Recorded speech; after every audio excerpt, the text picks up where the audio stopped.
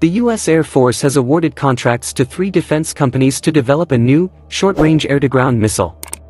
The Stand-in Attack Weapon, SiAW, will be able to engage enemy ground targets while inside an opponent's air defenses, targeting ballistic missiles, surface-to-air missiles, and other important targets. The stand-in attack weapon will be a real next-generation system, replacing older, slower missiles that use dated technology. Lockheed Martin, Northrop Grumman, and L3 Harris are in competition to develop the SiAW, Defense News reports. Each company will receive $2 million to begin development, with the service purchasing the first missiles in 2023.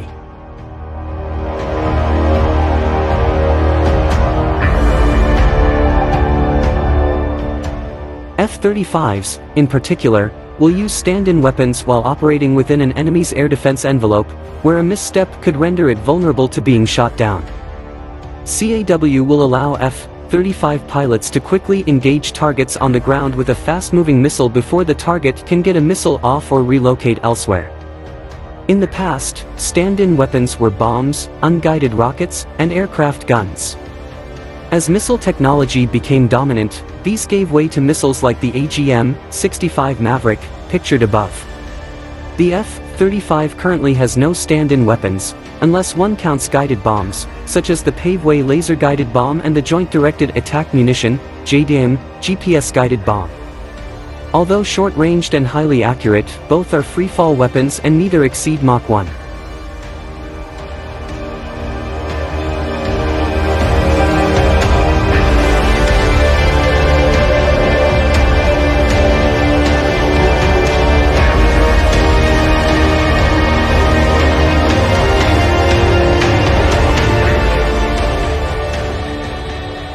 Stealthy aircraft like the F-35 will infiltrate enemy airspace, which is defended by advanced surface-to-air missile systems like the Russian Buk and Chinese HQ-9. To quickly shut down air defense missile batteries as they begin to pose a threat, it requires an attack missile both easier to target and faster than ever.